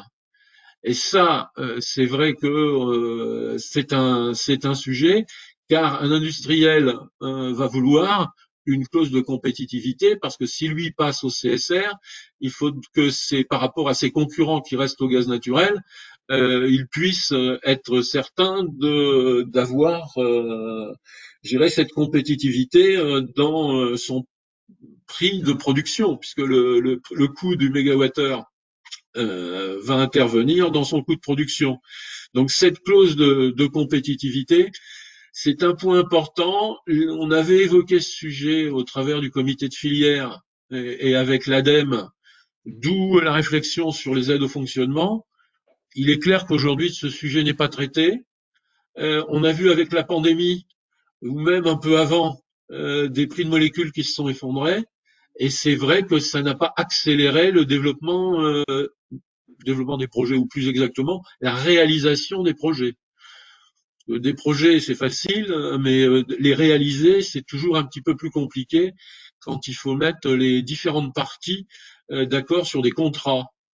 Voilà, c'est ce point-là. Je dirais qu'aujourd'hui, euh, ce qu'on peut, retour d'expérience, c'est techniquement, les solutions existent, euh, techniquement, euh, elles sont, euh, comment dire, elles, elles, elles, permettent effectivement de garantir la pérennité de l'installation et la pérennité de la fourniture du mégawattheure CSR à l'industriel dans de bonnes conditions, ce qui est important quand il s'agit de fournir des industriels dont euh, l'utilisation du mégawattheure c'est pour leur process de production. En revanche, euh, le point, les points, le point le plus délicat, d'une manière générale, c'est euh, la constitution, la structuration de la société porteuse de projet pour trouver derrière le financement complémentaire auprès des banques et donc euh, les, les, les, engagements euh, que vont demander euh, les prêteurs. Et euh, sur le deuxième point, ben, le contrat proprement dit euh, de vente de, de chaleur et de, et de, durée à l'industriel. Je dirais, techniquement et économiquement, aujourd'hui, euh, la situation est favorable. Euh, il reste un, sujet juridique et financier qui est à regarder vraiment au cas le cas. euh, j'ai essayé d'être le plus synthétique possible. S'il y a des questions. Alors oui, merci, merci Jean-François. Oui, donc non, on, a, on, a, quelques questions. Euh, une question technique, euh, on va dire. Euh, est-ce que vous savez quelle, est, quelle doit être la cicité aujourd'hui, vous, dans votre installation? Quelle cicité vous visez en, en entrée de chaudière sur le CSR Joker. Joker, euh, non, je, ne sais plus, mais euh, ce que je veux dire, c'est qu'on travaille sur euh, des CSR qui sont pour l'essentiel de bonne qualité parce qu'issus, comme l'évoquait aussi Jean-Paul tout à l'heure, des refus de tri de collecte sélective pour l'essentiel ou de déchets d'activité économique. on est sur déchets secs au départ. Euh, la difficulté euh, pour euh, ces cécité, c'est vrai pour le, notamment les, les, c'est vrai aussi pour les cimentiers, c'est quand on touche un peu au CSR issu d'ordures ménagères résiduelles. Mais là aussi, la mise en œuvre de la gestion séparée des biodéchets, la montée en puissance de cette gestion séparée des biodéchets et euh, de la tarification incitative vont euh, modifier euh, la, la, nature même des ordures ménagères résiduelles. donc, on aura certainement un assèchement entre guillemets de ces ordures ménagères résiduelles. donc, on, on aujourd'hui, on a la nécessité, dans certains cas, effectivement, de passer par un processus de séchage quand on travaille sur ces produits-là. En revanche, ce n'est pas le cas quand on travaille sur les refus de tri de collecte sélective ou sur euh, les, déchets d'activité économique. C'est-à-dire que pour l'instant, euh, ce qui se passe, c'est qu'on produit en choisissant le déchet euh, que l'on, avec lequel on va faire le CSR. Demain, si on veut avoir des volumes plus importants, et notamment pour diminuer les, les, les volumes mis en stockage on aura effectivement euh, euh, la nécessité pour certains produits d'avoir euh, un, système de séchage au préalable pour descendre autour de tête c'est 15%. Ok. je passe aux autres questions pour essayer de tenir le timing et pas faire trop attendre Benjamin Monet. question donc euh, de monsieur, euh, une question qu'on a, pourquoi ne pas s'appuyer sur l'unité existante de production de chaleur pour constituer le backup du CSR J'ai pas compris la question. Pourquoi ne pas s'appuyer? Alors peut-être monsieur Windergerst, je ne sais pas, euh, peut compléter du coup sa question posée par écrit. Pourquoi ne pas s'appuyer sur les unités existantes de production de chaleur pour constituer un backup, le backup du CSR En général, oui. Ben, les unités existantes en matière de le CSR euh, et là tout c'est pour je répondrai de manière indirecte tout à l'heure à une interrogation qu'il y a eu le CSR c'est euh, davantage un, déchet que de la biomasse hein.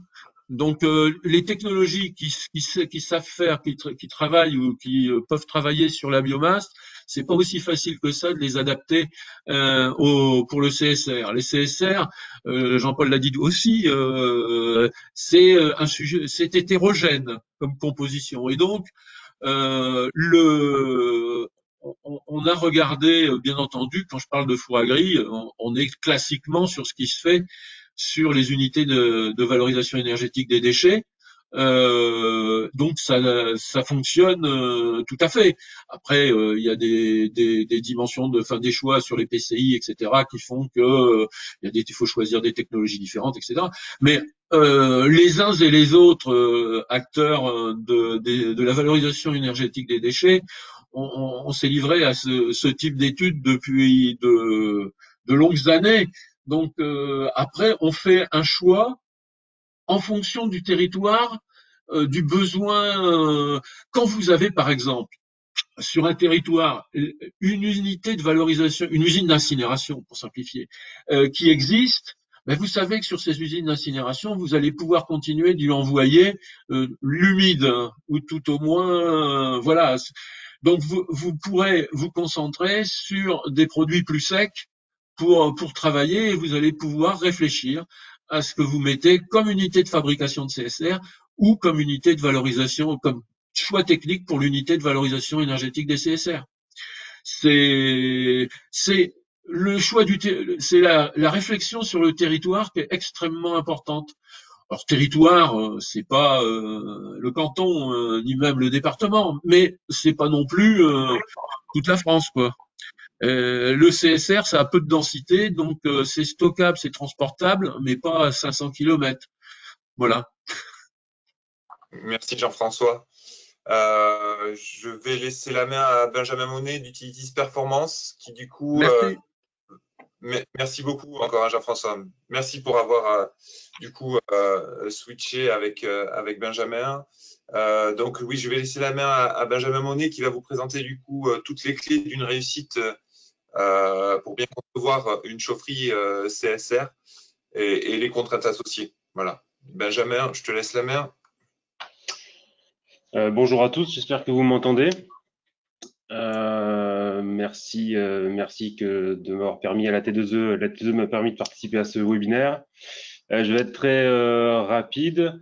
Juste rapidement, Utilities Performance, on est un bureau d'ingénierie euh, spécialisé dans l'eau et l'énergie pour les industriels et les collectivités. On accompagne notamment des porteurs de projets et des industriels dans l'étude de projets CSR et dans leur réalisation. Et c'est dans ce cadre-là que je vais vous présenter notre, notre vision à ce jour de, de ce qu'est la conception et le design d'une chaufferie CSR.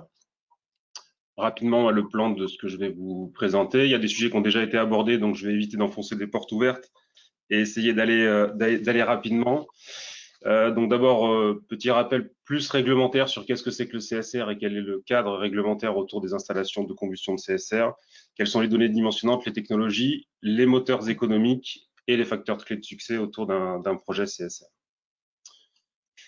Alors, vous avez dit CSR, donc c'est une signification, une dénomination internationale. La France est émergente sur les CSR, mais en Europe, il y a d'autres pays qui sont en avance et qui ont déjà avancé. Je vous ai mis des dénominations euh, internationales ou européennes, donc RDF ou SRF, qui sont pas tout à fait la même chose, mais euh, mais c'est à peu près pareil. Ce qu'il faut retenir, c'est que pour tout le monde, c'est la fraction à forte valeur énergétique de déchets qui sont non recyclables. Ça, c'est très important. Euh, et en France, il y a une définition qui est très particulière, enfin qui est particulière, qui est une définition réglementaire, qui fixe un certain nombre de paramètres euh, que je vous ai mis ici à l'écran, qui sont le PCI, certains polluants et notamment le chlore et les halogénés. Euh, et ensuite, bah, là, j'enfonce vraiment une porte ouverte parce que ça a été dit par Monsieur Vigo et par Jean-Paul. Il n'y a pas qu'un seul CSR, il y a des origines multiples et des caractéristiques physiques qui sont très larges et que ce cadre réglementaire permet. Alors, le cadre réglementaire global, donc il y a deux arrêtés qui ont été publiés en 2016 euh, qui définissent une nouvelle rubrique qui est un mix entre la 2910 pour ceux qui sont euh, connaisseur du sujet est la 2771, donc 2910 installation de combustion, 2771 incinération de déchets non dangereux, et qui a été nommé du coup 2971. Euh, les deux arrêtés, vous les avez en bas à gauche, euh, qui sont à la fois l'arrêté de définition du combustible et l'arrêté de définition des conditions réglementaires d'une installation de production de chaleur ou d'électricité euh, à partir de CSR. Euh, attention, euh, ce cadre réglementaire ne se substitue pas aux autres, notamment la directive IED, qui peut concerner donc la 3520, c'est systématique, et la 3110, c'est sur les grandes installations de combustion, qui fixe un certain nombre de cadres. pour information, l'IED a fait 3520 a fait l'objet d'une mise à jour très récemment, donc notamment au niveau des émissions. Et les impacts techniques de cette euh, réglementation sont très forts, euh, notamment sur euh, les 850 degrés, 2 secondes de temps de séjour des fumées dans, dans, les installations, les émissions de NOx qui sont à 80 mg. Alors, il y a quelques cas particuliers, on pourra revenir dans les questions sur lesquelles on peut aller au-delà. les émissions de poussière et les émissions de chlore qui sont très basses.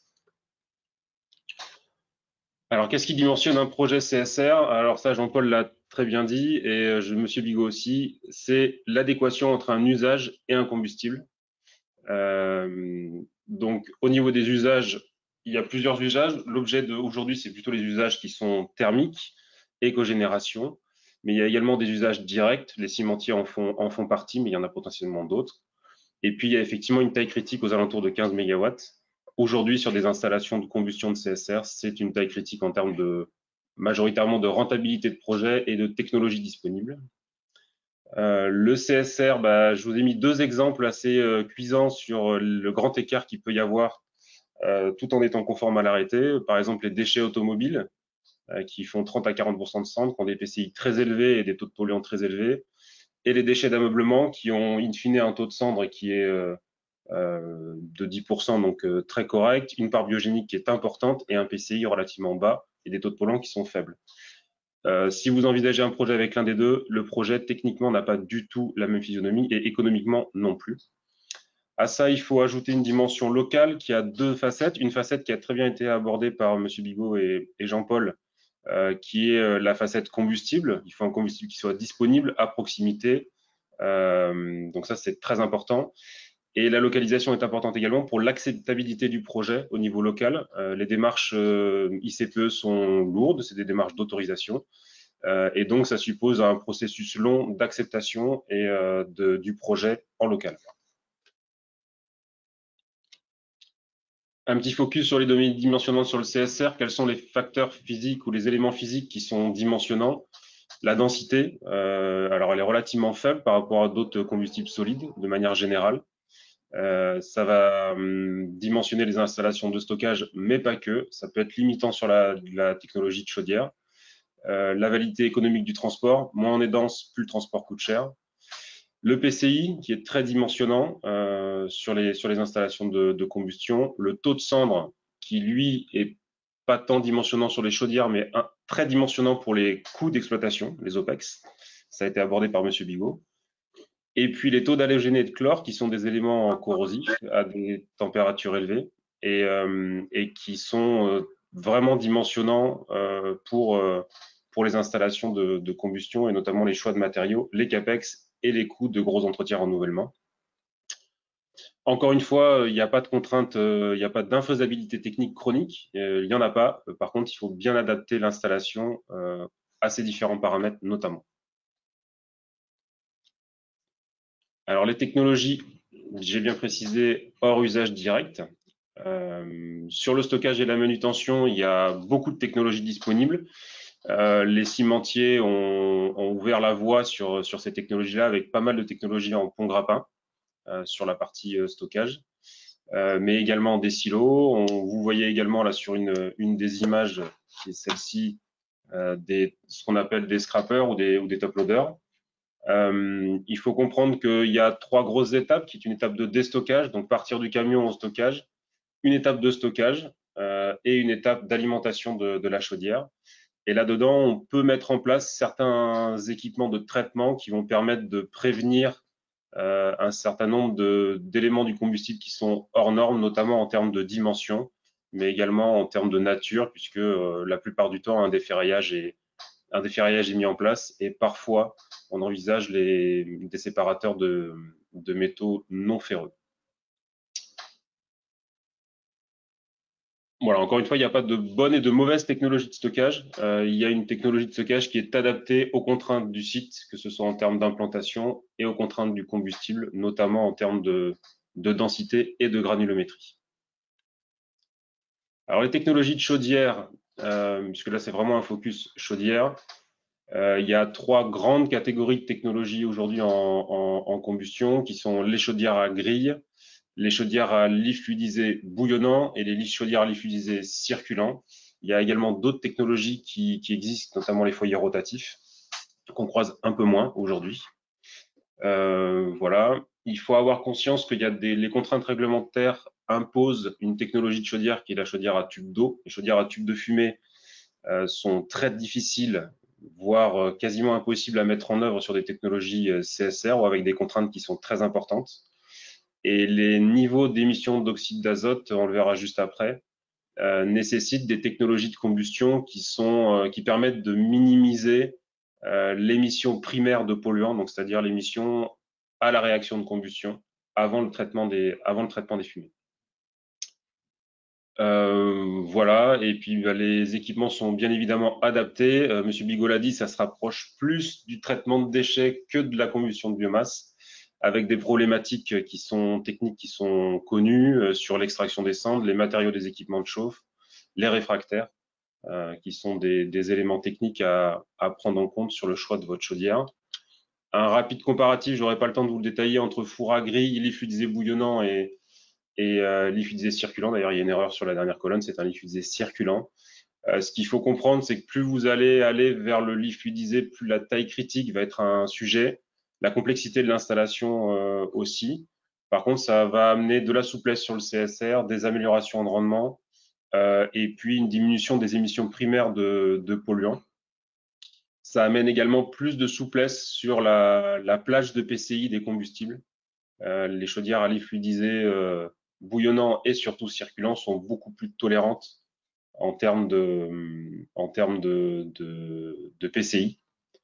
Euh, voilà. Après, il y a d'autres contraintes. Euh, je pense que vous aurez tous à disposition cette présentation. Vous pourrez rentrer un peu dans le détail. Euh, encore une fois, il n'y a pas de bon choix.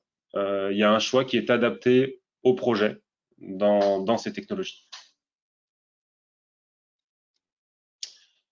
Alors ça, je ne vais pas le détailler, c'est juste pour vous montrer qu'il y a d'autres chaudières CSR qui tournent en Europe et qui tournent plutôt bien. Euh, il y a une étude, je vous ai mis la source, euh, qui est un rapport record qui a été fait de mémoire, ça doit être en 2016 euh, ou 2015, sur quelques installations de combustion de CSR en Europe. Ce qu'il faut retenir, c'est qu'il y a une grande variété de combustibles, de plages de PCI de combustibles, une grande variété également de technologies qui ont été euh, mobilisées, une variété de puissance également, mais avec cette fameuse taille critique. Euh, il y a quand même peu d'installations qui sont sur des puissances inférieures à 15-20 MW. Ensuite, le traitement des fumées. Donc, euh, le traitement des fumées, c'est quelque chose qui est très important dans le dimensionnement des, des, chaudières à CSR, des chaufferies CSR. Euh, les technologies, par contre, sont maîtrisées. C'est c'est des technologies qui sont issues du monde de l'incinération, qui sont très proches du monde de l'incinération, euh, avec de l'injection de réactifs, euh, souvent bicarbonate ou chaud, et du, du, charbon actif, qui sont apposés sur un, après un réacteur sur un, sur un filtre à manche qui traite la partie, la partie poussière.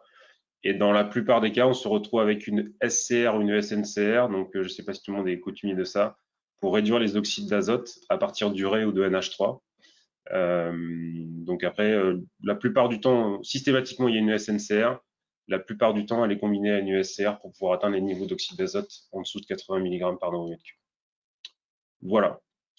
Euh, les moteurs économiques, donc la compétitivité, le premier moteur, c'est la compétitivité du coût énergétique par rapport à l'énergie fossile.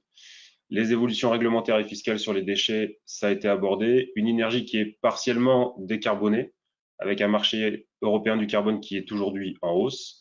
Et c'est aussi une stabilité du coût du combustible. Alors on pourrait dire stabilité ou plutôt décorrélation des énergies fossiles, ce qui peut être un vrai avantage pour un projet, surtout dans un contexte où le prix des énergies fossiles peut évoluer, euh, peut évoluer rapidement.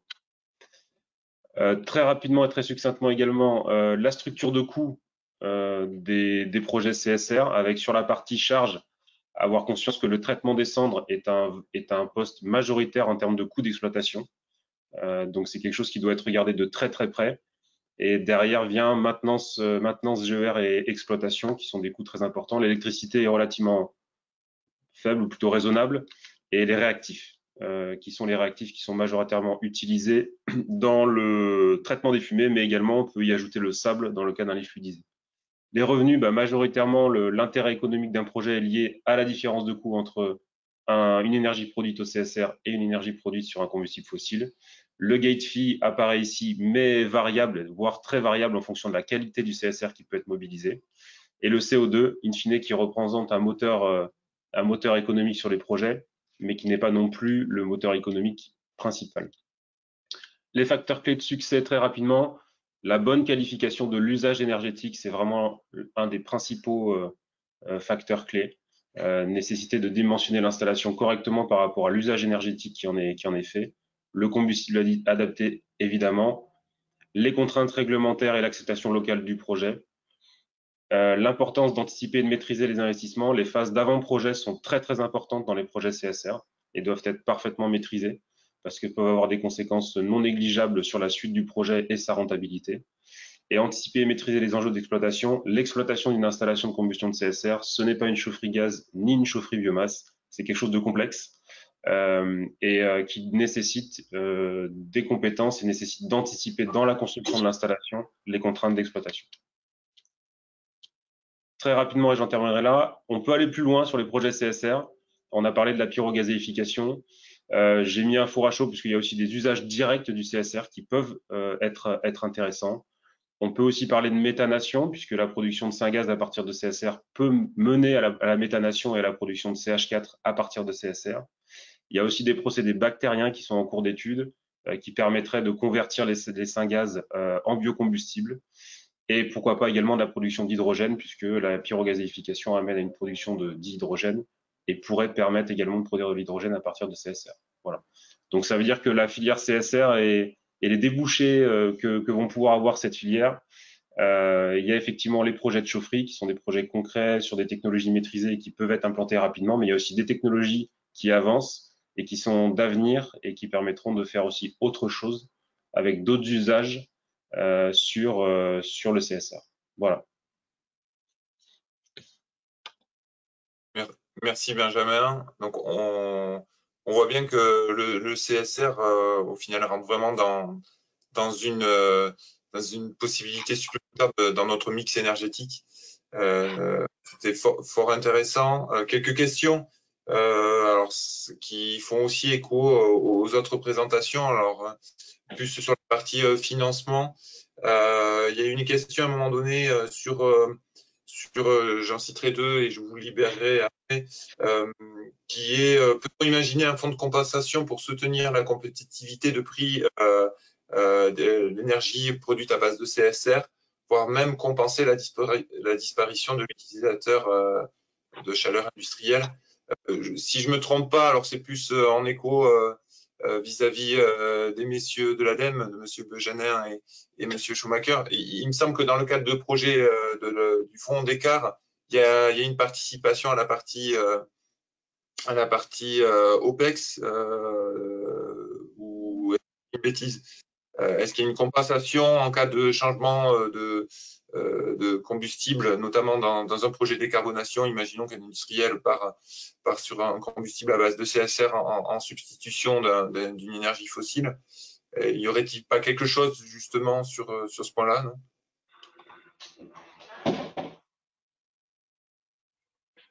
ah, on a perdu, euh, on a perdu les, les personnes de l'ADEME, c'est pas grave.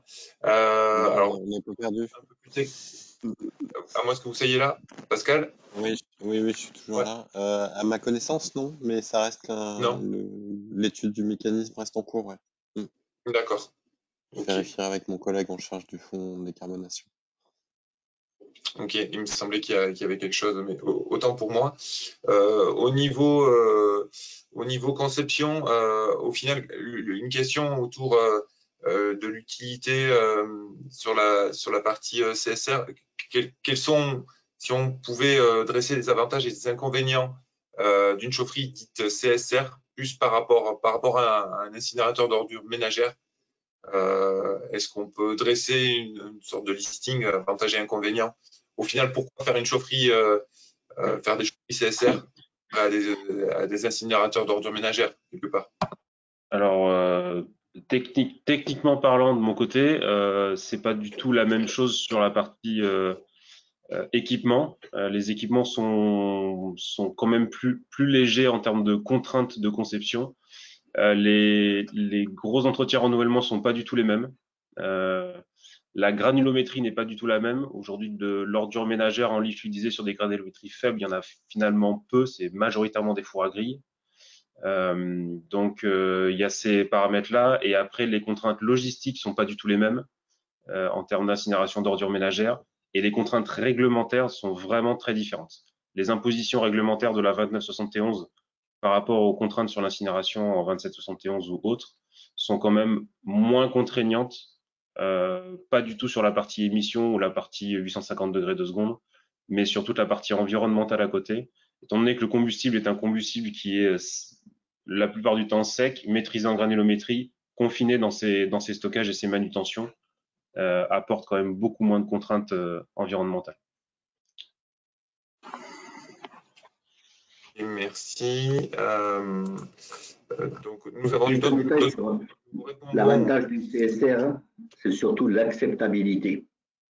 L'acceptabilité parce qu'en fait, le, la création de la filière à incinération, c'était une approche linéaire, c'est-à-dire que j'ai un problème à cet endroit-là, il faut vite que je trouve une solution, boum, on a mis un incinérateur, sans le dire à personne, sans regarder d'où venaient les déchets, sans regarder ce qu'on faisait de la chaleur, et donc on chauffe des oiseaux, alors que la, démarche, le, et notamment soutenue par euh, les équipes de l'ADEME, d'un projet CSR, c'est une approche systémique où on se dit, le j'ai besoin sur ce territoire, je consomme tant d'énergie, je vais substituer de la, de l'énergie fossile par de l'énergie déchet. Donc déjà, c'est un projet territorial. Après, on regarde le, les gisements de déchets tout autour. Et donc, en fait, ce projet sert vraiment à la collectivité le, au sens large, c'est-à-dire au territoire. Et donc, du coup, ça améliore l'acceptabilité de ces projets. Et après, en termes économiques, c'est aussi une relocalisation de la dépense énergétique. On a un projet euh, euh, dans le nord de France. Et en fait, au lieu de donner 5 euh, millions d'euros à Poutine pour lui acheter du gaz, on va mettre 4 euh, millions 5 de dépenses énergétiques sur le territoire chaque année. Donc, ça crée de la richesse locale. Donc, l'acceptabilité, c'est surtout ce qu'il faut mettre, l'avantage du CSR. Écoutez, on, va clôturer là euh, pour ce webinaire qui fut fort intéressant je vois que ça, ça crée une certaine émulation dans les échanges de, chat. Merci à tous pour, euh, pour votre participation. Euh, merci à vous. Euh, je reprécise donc ce webinaire sera disponible en rediffusion sur le site de la T2E. Nous reviendrons également sur les questions du coup qu'on n'aura pas eu le temps de traiter au cours du webinaire. Donc nous vous adresserons du coup le retour des réponses aux questions qui n'ont pas été traitées. Merci à vous tous. Je conclus sur ça. Euh, je vous souhaite une euh, bonne journée et puis euh, à bientôt lors de nos différents webinaires. Merci à tous.